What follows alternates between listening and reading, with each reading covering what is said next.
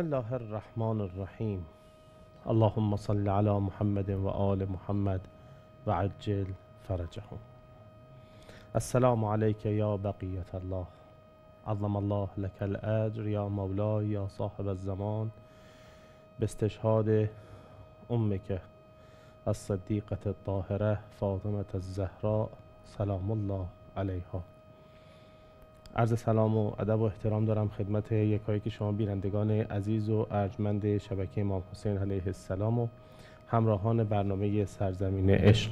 تسلیت عرض می‌کنم خدمت آقا بقیت الله العظم روحی و ارواح العالمین لتراب مقدم الفدا و خدمت یکایی که شما عزیزان و عاشقان اهل بیت اسمت و تهارت شام شهادت بیبی بی حضرت فاطمه زهرا سلام الله علیها.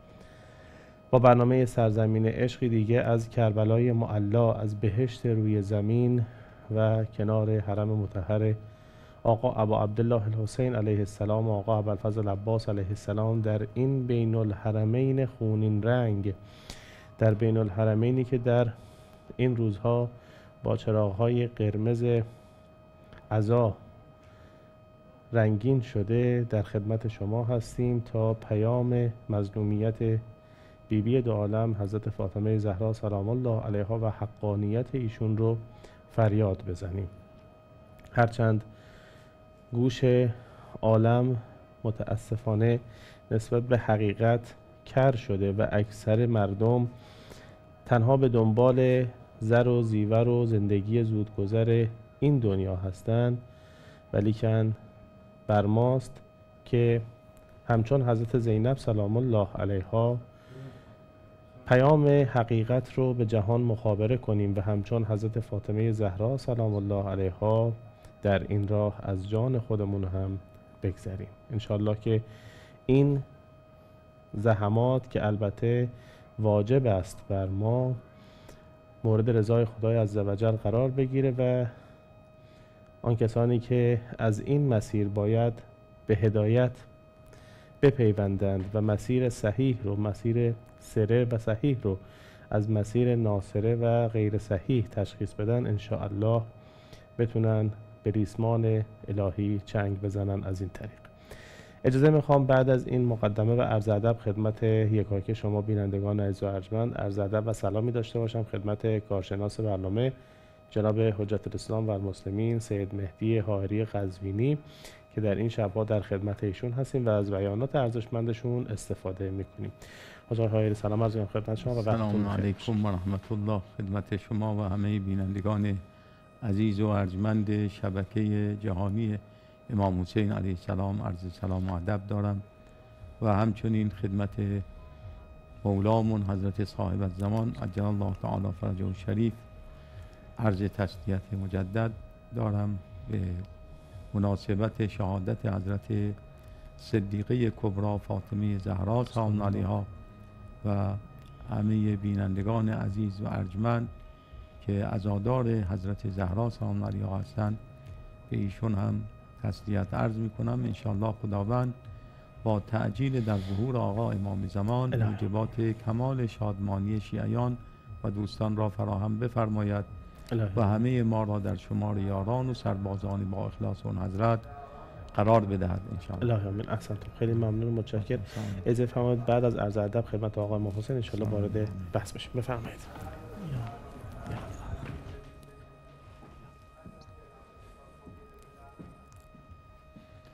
السلام علیک یا مولا یا ابا عبدالله.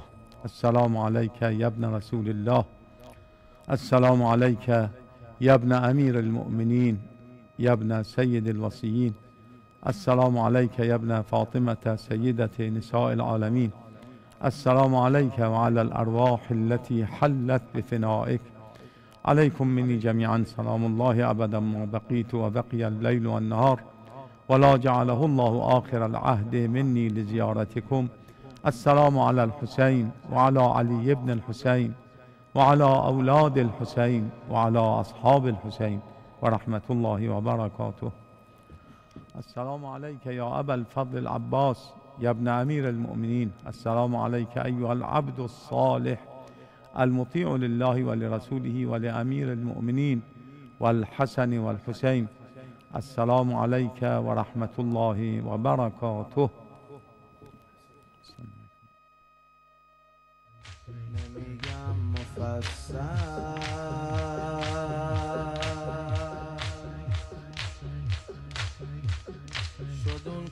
کوچه یک لحظه مقتل گرفت راهمونو. سر مادرم داد زد اول. سر مادرم داد زد اول. احانت به من کرد. جسارت به زن کرد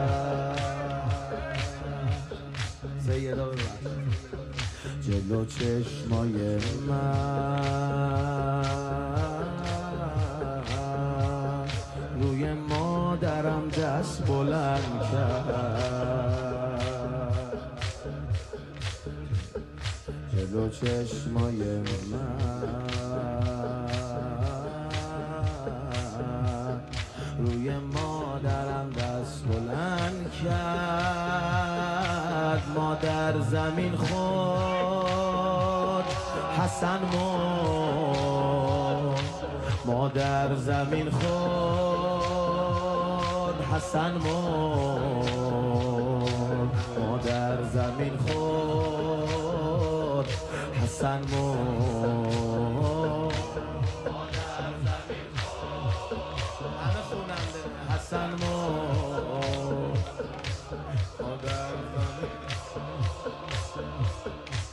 مرد مادر زمین.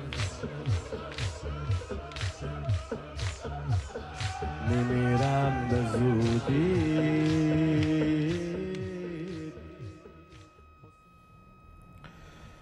نایب الزیاره همه شما خوبان هستیم. در کربلای معلا و هر وقت که سلام میدیم خدمت آقای امام حسین و آقا ابوالفضل عباس علیه السلام.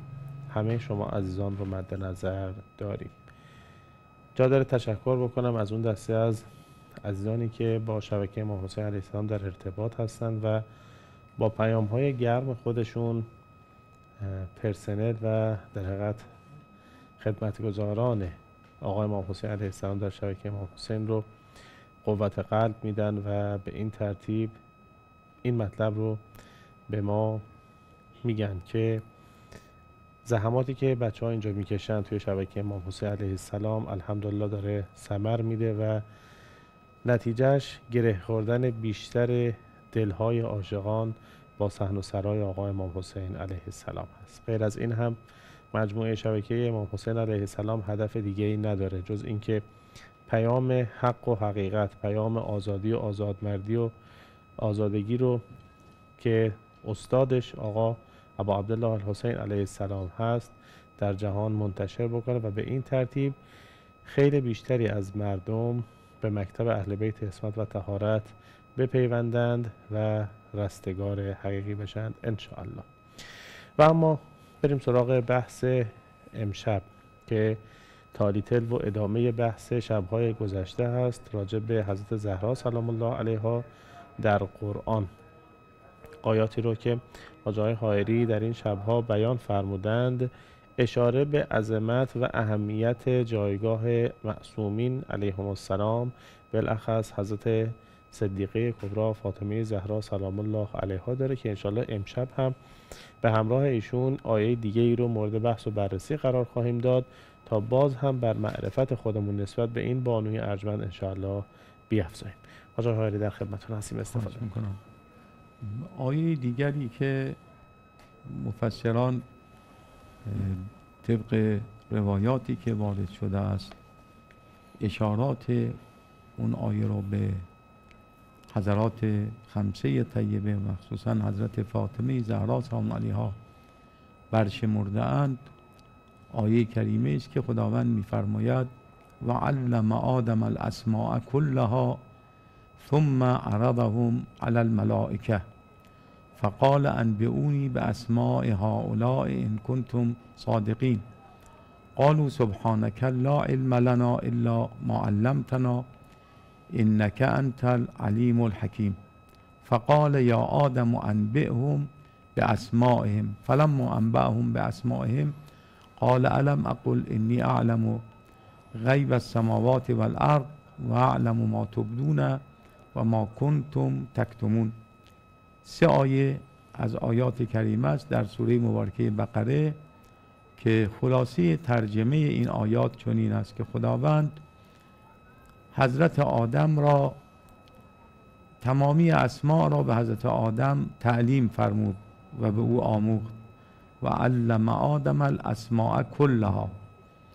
سپس ایشان را عرضه کرد بر فرشتگان و فرمود به فرشتگان نامهای این چند نفر و بزرگواران را به من بگویید اگر راست می‌گویید که شما یعنی سزاوارتر هستید به خلافت در زمین چون ملائکه اینها وقتی خداوند اعلام فرمود به ایشان که من در زمین خلیفه قرار خواهم داد اونها اینطور اظهار داشتند که ما تسبیح گوی تو هستیم و تقدیس تو می‌گوییم.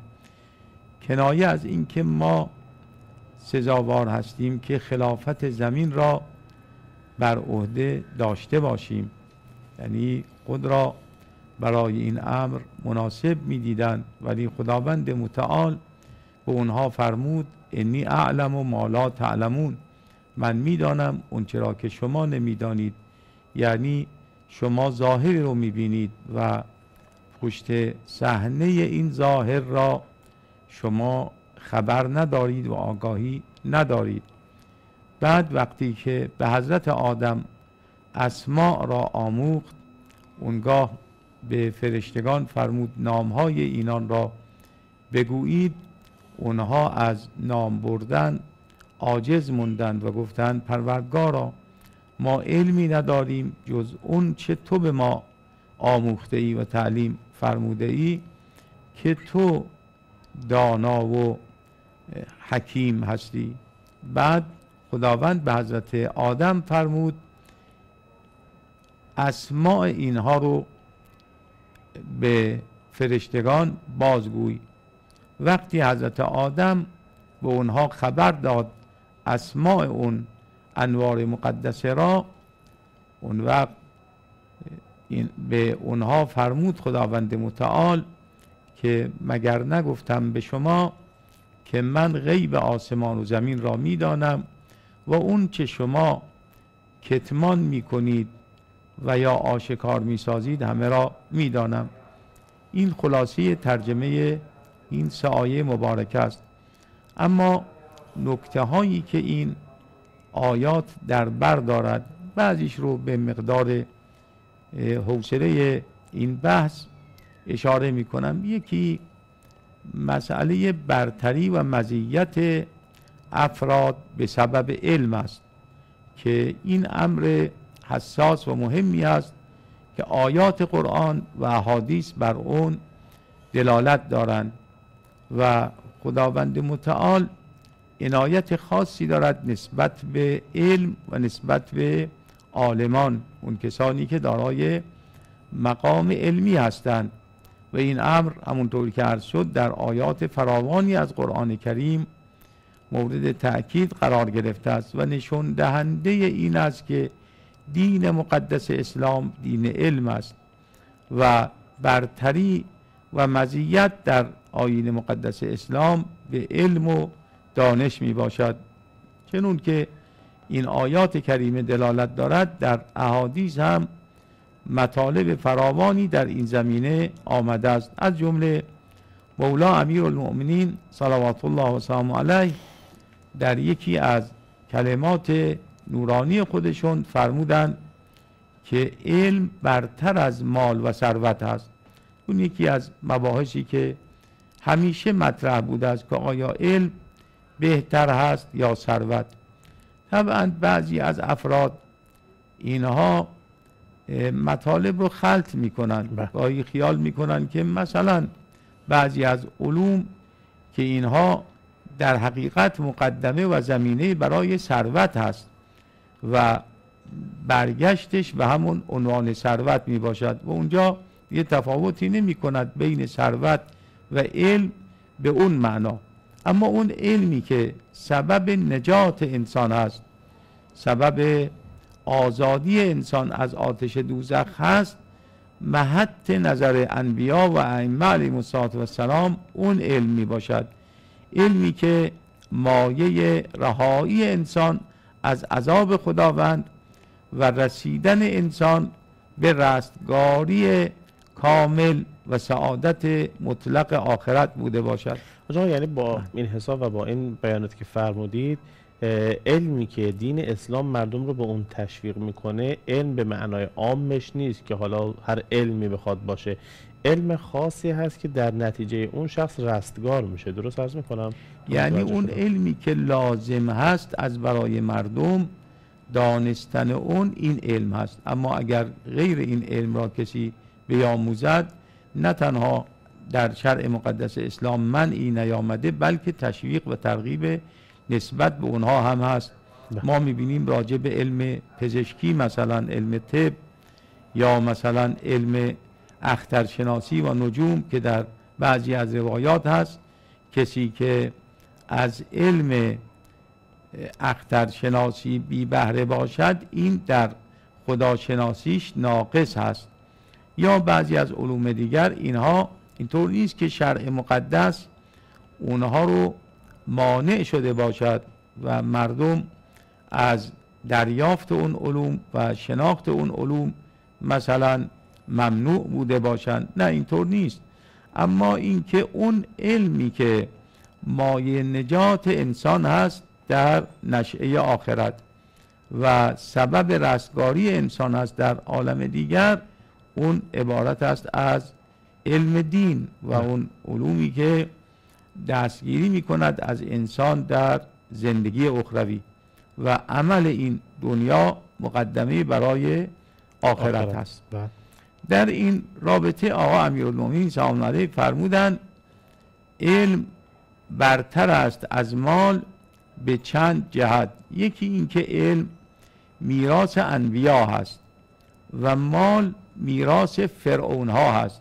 یعنی که افراد ستمگر افراد ظالم اینها مال و ثروت را در واقع از خود بر جای گذاشتن. ثروت از اونها باقی مونده است. اما علم از پیامبران باقی مونده است در بین افراد بشر. دیگر اینکه علم با خرج کردن و هزینه کردن کاسته نمی شود در مقابل مال و ثروت کاسته می شود. یعنی اگر چه اونچه ما مثلا یه مبلغی از مال داشته باشیم اگر مقداری از اون را خرج کنیم و هزینه کنیم خب به همون نسبت مال و ثروت ما کاسته می شود. اما اگر فرض کنید یک معلم یک استاد یک استاد دانشگاه تدریس می کند آیا این تدریسی که انجام می‌دهد علم خودش را در اختیار شاگردانش قرار می‌دهد. اونها از این علم برخوردار می‌شوند. علم خود او هم کاسته نمی شود بلکه احیانا علم او افزوده می شود به سبب گفتگو کردن و تجربه کردن و مطلبی را بیان نمودن برای دیگران. ذهن خود او بیشتر باز می شود و مطالبی را استفاده می کند در عین تعلیم به دیگران. پس علم کاسته نمی شود با تعلیم دادن و آموختن به دیگران ولی مال و ثروت کاسته می شود بر اثر انفاق نسبت به دیگران. یکی دیگر از فرقهای بین علم و مال این است که مال و ثروت تا هنگام قبر با انسان همراه است. داخل کفن نمی شود ولی علم داخل کفن می شود با انسان و علم را شخص عالم همراه خود به سرای دیگر می‌برد و در اونجا برای او مفید و مؤثر خواهد بود. دیگر این که علم و دانش در سرات برای انسان کمک هست برای گذشتن از سرات در صورتی که مال و ثروت احیانا سبب گرفتاری انسان هست در سرات اونجا بازپرسی می شود و احیانا وقتی اون مال و ثروت را در مسیر باطل به کار برده باشد اونجا او را معطل می کنند و به جهنم سقوط می کند. احیانا به سبب اعمال ناپسندیده ای که انجام داده است و هزینه ای که کرده است اون مال و ثروت را در مسیر باطل. و دیگر از تفاوت ها و فرق های بین علم و مال به تعبیر امیرالمؤمنین علی علیه السلام آن است که مال و ثروت را خداوند متعال به مؤمن و کافر به هر دو عطا می کند ولی علم فقط در دل مؤمن قرار می گیرد یعنی اون علم حقیقی چون که عرض کردم این علم در دل افراد با ایمان استقرار پیدا می کند و به افراد کافر داده نمی شود و عطا نمی شود پس این پیام اولی است که آیه کریمه متضمن هست و مزیت و فضیلت حضرت آدم و برتری حضرت آدم را حتی نسبت به فرشتگان بیان می کند که ملائکه مقام و درجهشون پایین تر بود از حضرت آدم به سبب اینکه این علم را خداوند ابتدا به حضرت آدم آموخت. بسیار عالی. چون ما تمام نیمه وقت برنامه رسیدیم طبق روال هر شب با ذکر صلوات بر محمد و آل محمدی میان برنامه مختصر رو ببینیم بعدش ان شاء الله به بحث برگردیم با اجازه شما. اللهم صل علی محمد و آل محمد و عجل. فرجهم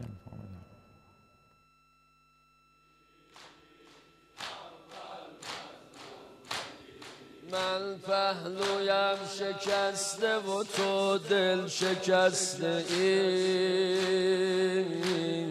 من پهلویم شکسته و تو دل. با زهرا بخون.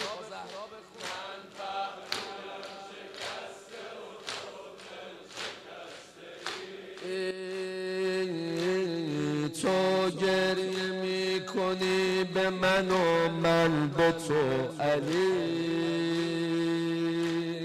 تو گریه می‌کنی به من و من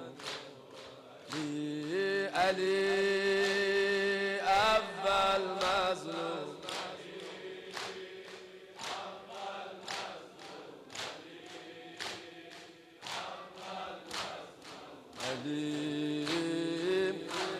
من می‌خونم تو گریه کنی. صاحب هم انشالله راضی باشه. هم از من هم از تو. اون فقط راضی. تو رو خدا رحم نشه آبروی مدینه را برده.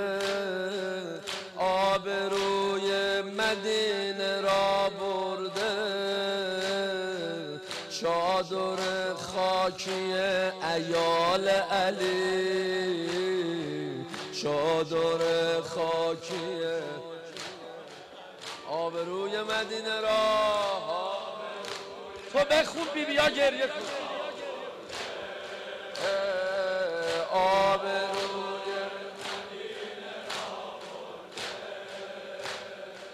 شادان ایال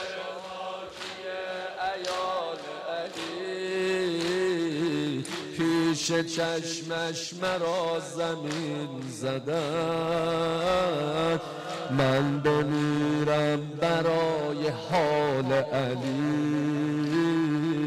من بمیرم برای علی. علی اول مظلوم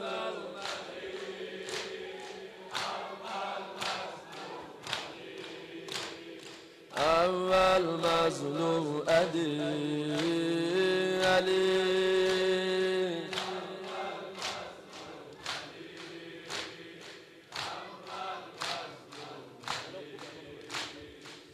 میشه پیر جوون کوچیک با دو دستت بیاد بالا برای بی سینه بزنی. اول مظلوم. ماشا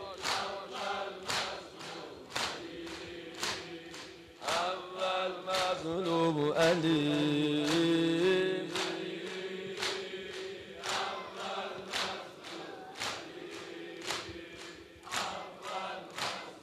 حالا مولا روزه دلم شکسته دلم شبیه دل دخترم شکسته. دلم مثل بال کبوترم شکسته. دلم شکسته. دلم شبیه دل شبیه دل دخترم. دلم مثل بال کبوترم.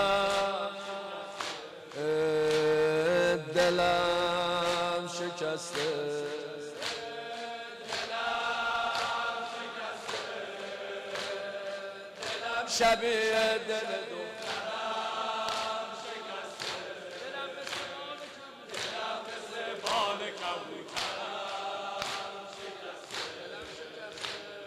دلم یه بار دیگه می‌خونی.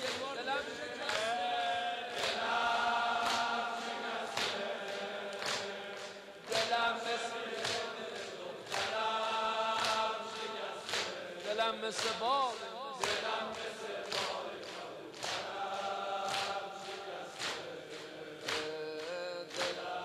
روزه به خود ثابت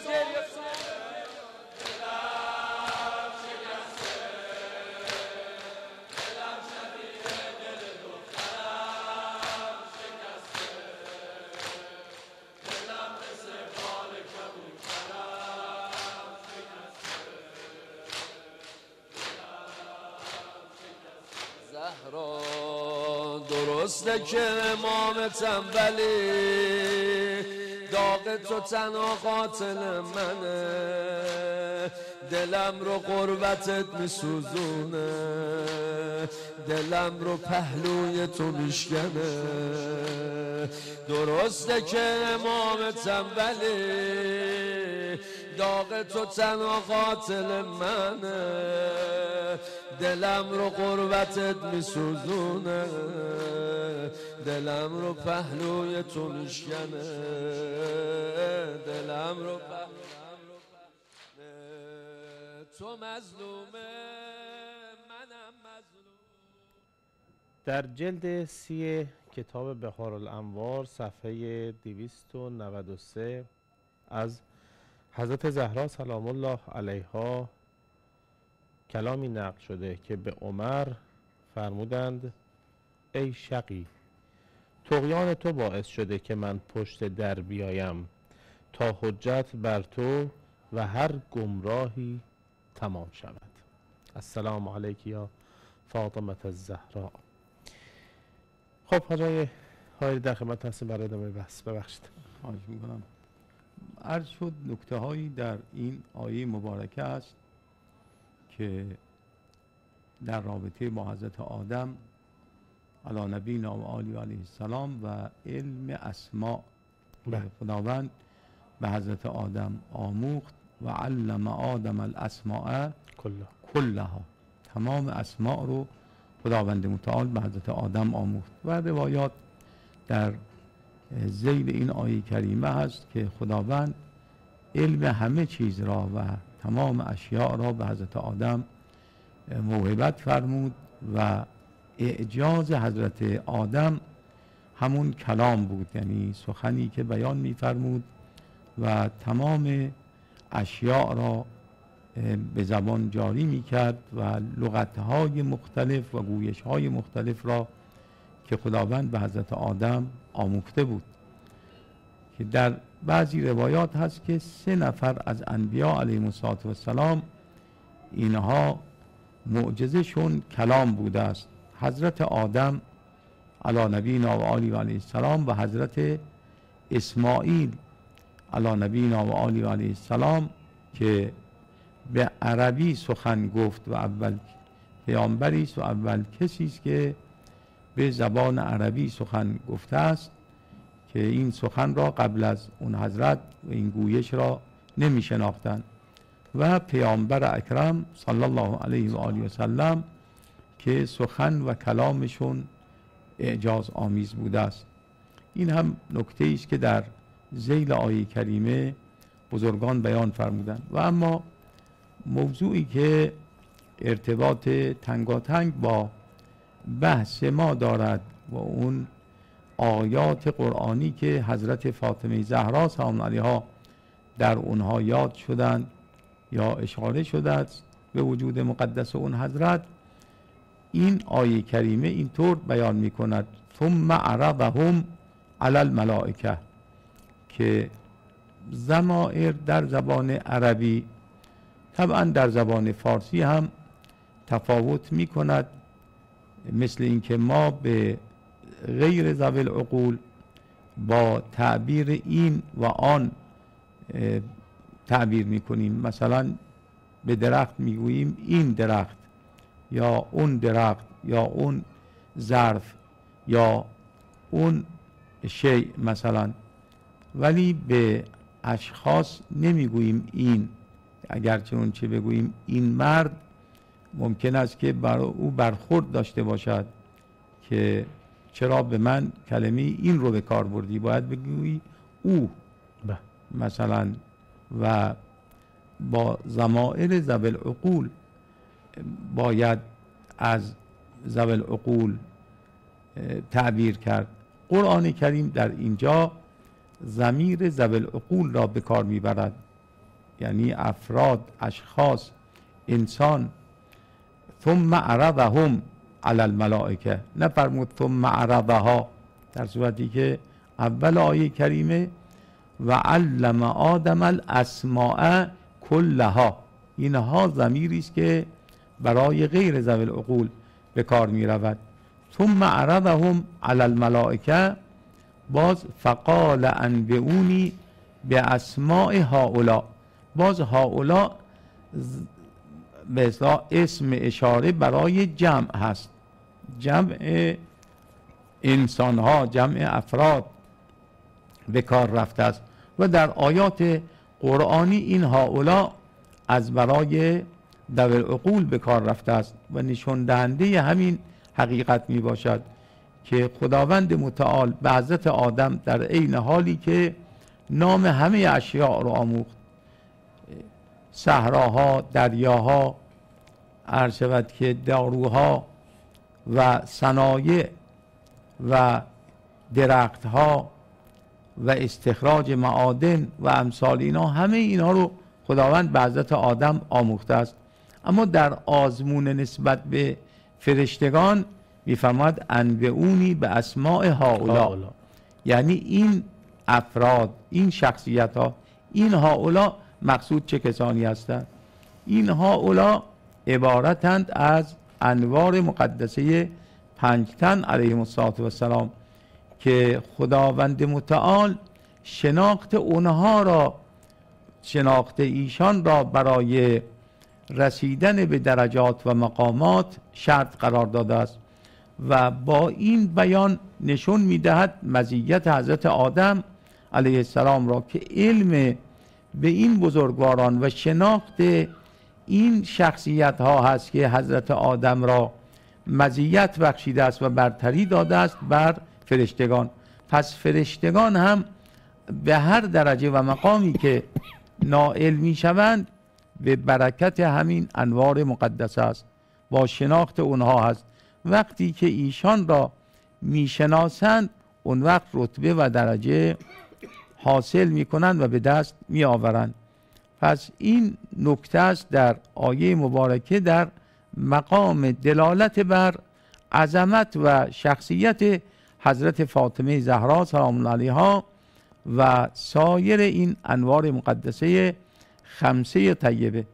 که حالا نحوه شناخت حضرت آدم علیه السلام نسبت به این انوار مقدسه را چند روایت بیان می کند از جمله روایت هست که وقتی حضرت آدم و حضرت حوا داخل بهشت شدند و از نعمتهای الهی در بهشت بهره بردند اون موقع به ذهن اونها آمد که آیا خداوند متعال برتر از ما خلقی و آفریده ای دارد. فوری جبرئیل آمد و حضرت آدم و حوا را به یکی از کاخهای برتر بهشتی برد. در اونجا نماد و تمثال حضرت فاطمه زهرا سلام علیها و سایر انوار مقدسه با یک نحوه خاص و جالبی اونجا قرار داشت. و حضرت آدم معرفی کرد گفت که این خانم فاطمه از دختر پیامبر آخر الزمان است تاجی بر سر حضرت فاطمه زهرا سلام الله علیها بود. گردن بندی در گردن حضرت زهرا سلام علیها بود و گوشواره در گوش اون حضرت یکی به رنگ سبز و دیگری به رنگ سرخ.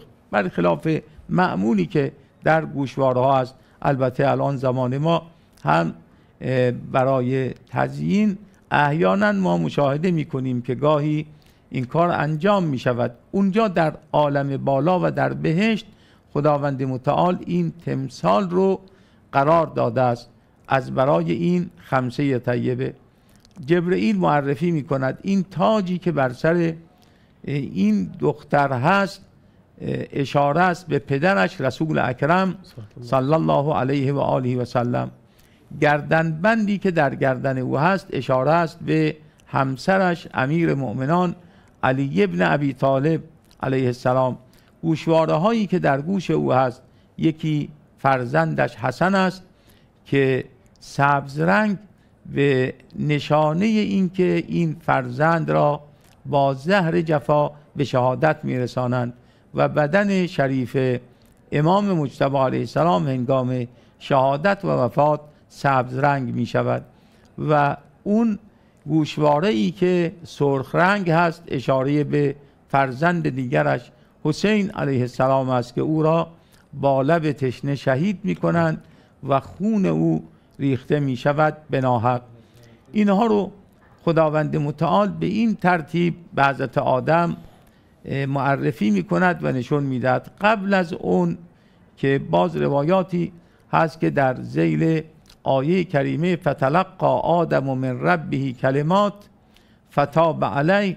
اونجا بیان شده است. به اینکه ابتدایی که وارد شد حضرت آدم علیه السلام یا ابتدایی که آفرینش یافت و نظر کرد به عرش نگاه او افتاد و نام این پنج بزرگوار رو بر ساق عرش دید که ثبت شده است و این نام ها رو به خاطر سپرد و حفظ کرد که موقع توبه به درگاه خداوند متعال با این اسماع مقدسه به درگاه خداوند توبه آورد.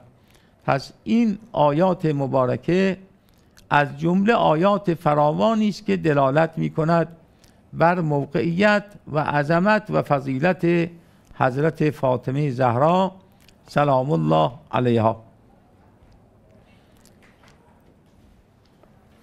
خب ما تقریبا 7 دقیقه تا پایان برنامه فرصت داریم. حالا اگر بله. موضوع بعدی که در حقیقت آماده کردید رو می‌رسیم مطالب راجبش بیان بفرمایید که در خدمت باشیم. اگر نه جنبنده راجع به این مطالب داشته باشیم. البته همچون دیشب اگر ذکر مصیبتی هم از در حقیقت این غم بزرگ یعنی از دست دادن بیبی بی فاطمه زهرا سلام الله علیها هم در حقیقت ما رو به فیض برسونید. بسیار ممنون میشم از خواهش می‌کنم.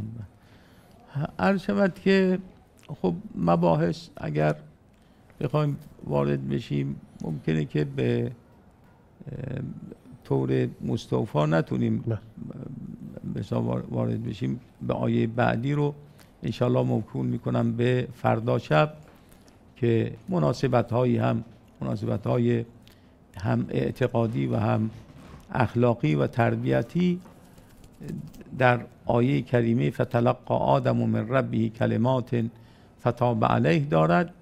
انشاءالله موکول می‌کنم به فردا شب. و اما اشاره به مقام حضرت فاطمه زهرا سلام علیها با این ویژگی که اون حضرت دارا هست که برتری و مزیت اون حضرت را و همچنین سایر خمسه طیبه علیه السلام رو بر حضرت آدم علیه السلام و غیر حضرت آدم نشون می‌دهد که شناخت و معرفت ایشان مایه برتری یافتن و فضیلت یافتن اون بزرگان عالم وجود هست. با این حساب باید همه مسلمون ها قدر حضرت زهرا سلام علیها رو به خوبی می شناختند و حرمت می نهادند و حرمت چکنی نمی کردند اما افسوس که اون همه ظلم ها بر حضرت زهرا سلام علیها وارد ساختند. به طوری که ما می بینیم بعد از پدر بزرگوارشون چندان در این عالم دوام نیاوردند و به شهادت رسیدند. وقتی که اون حضرت شهید شدند مردم ریختن در خانه اون حضرت و آه و افسوس میخوردن همدیگر رو ملامت می‌کردن که ما چرا اینطور کوتاهی کردیم نسبت به دختر پیامبر و اینطور زود و سریع از بین ما رخت بربسته است. حالا لاقل برای تشییع او ما آماده بشویم. اما ابوذر غفاری به دستور امیرالمؤمنین علی علیه السلام بیرون آمد و به مردم اعلام کرد که تجهیز حضرت فاطمه سلام الله علیها به تأخیر افتاده است. قد اخر اخراجها فی هذه العشیه. مردم اینطور تصور کردند که بنابر این هست که تشییع خیلی مفصلی باشد از برای حضرت زهرا سلام علیها.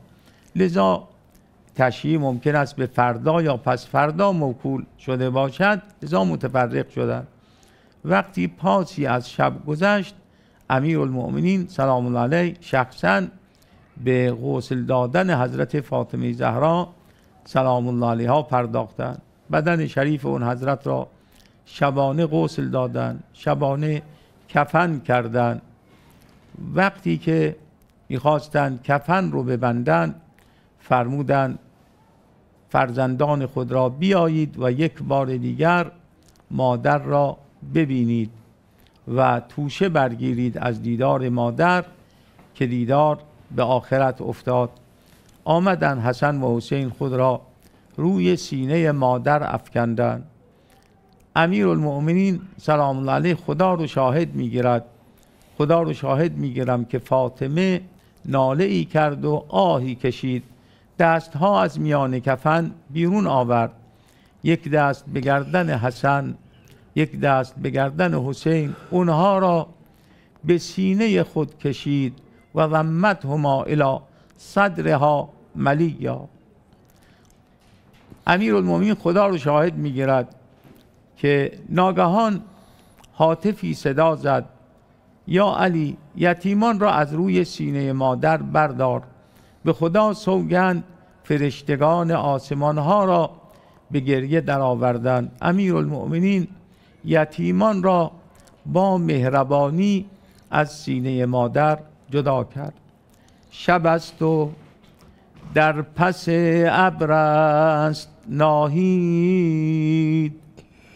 شب است و ماه من امشب نتابید به تابه مه تو بر شانه من که تاریک است امشب خانه من.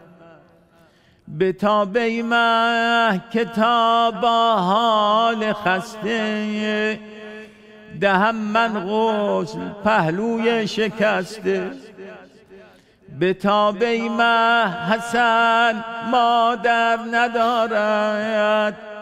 حسین من کسی بر سر ندارد. حسنین آمدن به بالین مادر. علی چون جسم زهرا را کفن کرد. شقایق را نهان دریا سمن کرد. این شاعر تشبیه می کند بدن فاطمه زهرا رو به گل شقایق. گل شقایق گل سرخ رنگی هست. یا سمن گل سفید هست. یعنی که فاطمه بدنش مجروح بود خونالود بود. امیرالمؤمنین این بدن را در میان کفن سفید پیچید و قرار داد.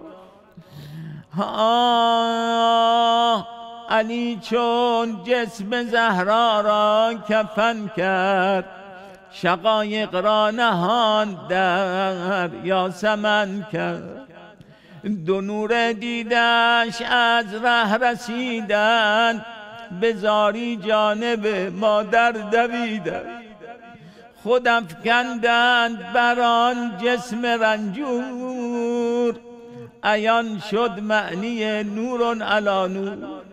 که ای مادر دو تفلانت به برگی زرعفت جوجگانت زیر پرگیر زما بگرفته ای ما در کنار مصیبت تازه شد بر ما دوباره.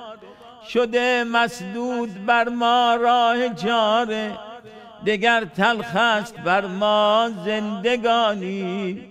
چه شد ما در تو را اون مهربانی؟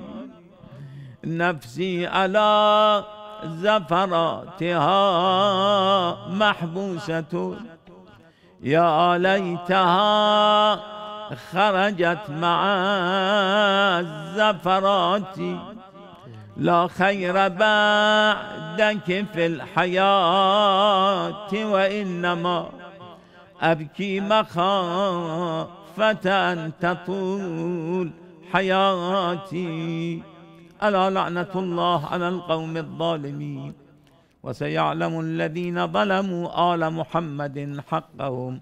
أيام قلب ينقلبون. اللهم صل على محمد و آل محمد. و عجل فرجهم. خدایا به حق محمد آل محمد به حق پهلوی شکسته بیبی دو عالم حضرت فاطمه زهرا سلام الله علیها به حق فرق شکافته آقا امیر مؤمنان علی ابن ابی طالب علیه السلام و جگر پاره پاره آقای امام حسن مجتبی و سر بریده آقای امام حسین علیه السلام. خدای به حق همه مظلومیت ها و سختی ها و مصائبی که بر خاندان اهل بیت اسمت و تهارت روا شد به دست نامردان و نانجیبان تعجیل در فرج مولا و سرورمون قرار بده. اللهم عجل لوليك الفرج. اللهم عجل لوليك الفرج. اللهم عجل لوليك الفرج. آجا خیلی ممنون و متشکرم احسنتم طیب الله انفاسکم انشالله که با این ذکر مصیبتی که در انتهای برنامه داشتید انشالله اسم ما هم جزو ازاداران حضرت فاطمه زهرا سلام الله علیها و اشکریزان و گریه کنندگان بر مصائب اون بانوی ارجمند انشالله در دفتر خدای عزوجل و در حساب ما ثبت و ضبط بشه انشالله و روسفید باشیم در روز قیامت انشالله به این توسلات بینندگان عزیز و ارجمند بسیار سپاسگزارم از اینکه تا به این لحظه با برنامه خودتون برنامه سرزمین عشق همراه بودید. راه های ارتباطی با شبکه از طریق رابط عمومی شبکه امام حسین علیه السلام در اختیار شما قرار داره. حتما حتما نظرات پیشنهادات و انتقادات خودتون رو برای ما ارسال بکنید و تا دیدار بعد همه شما رو به خدای بزرگ و منان میسپارم. خدا یار و نگهدارتون. یا حسین. آجا احسن. سلام. مهر تو ای حسین. جان از دل کشد زبونه. مرغ دلم به سویت پر می‌زنه شبونه. پر می‌زنه شبونه. مولای من حسین.